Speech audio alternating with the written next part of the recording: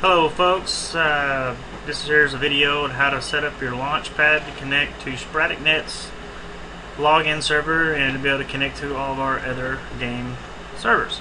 Uh, first of all, you click the Launchpad Enhance icon that you get after installing the Launchpad Enhance, which is right here.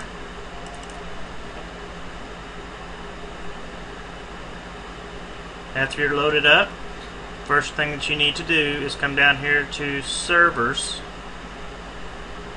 and click that and then you'll click add. Under the server name you can call this whatever you like. It's just so that you'll know which server you're connecting to.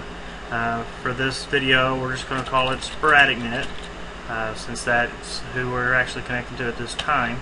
The address can be either the direct IP to the login servers or uh, you can use the host name. We have provided a, a, simple host name for our login server so you don't have to remember a bunch of strange numbers.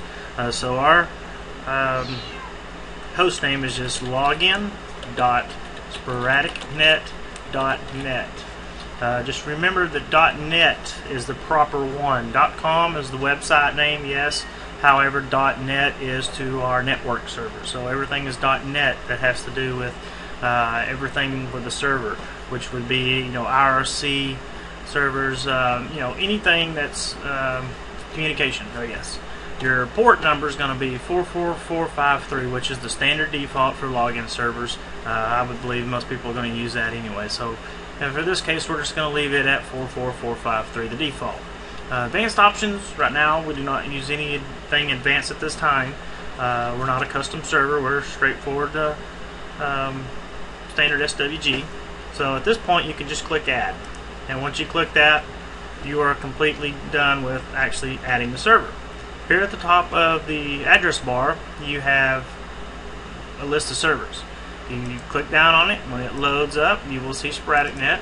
You just select that. You'll see the bar load here. Uh, it's really fast, and then from here you just click play, and you're on your way.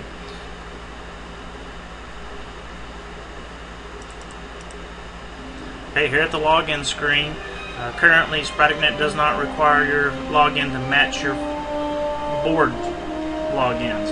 You just create one right here the first time you enter in a username and password. It's going to record that, and that's how, the one that you will use from this point on out until version 1.0 is released. Uh, after that, you're good to go to play the game and enjoy.